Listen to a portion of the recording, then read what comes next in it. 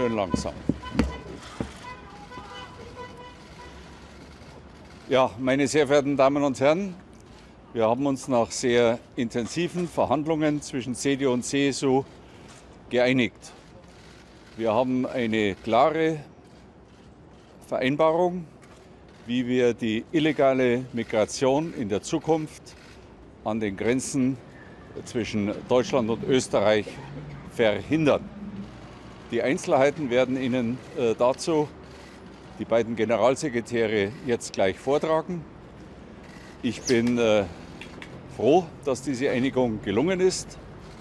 Es hat sich wieder einmal gezeigt, es lohnt sich, für eine Überzeugung zu kämpfen. Und das, was jetzt vereinbart ist, ist wirklich eine klare, für die Zukunft äh, sehr, sehr haltbare Übereinkunft.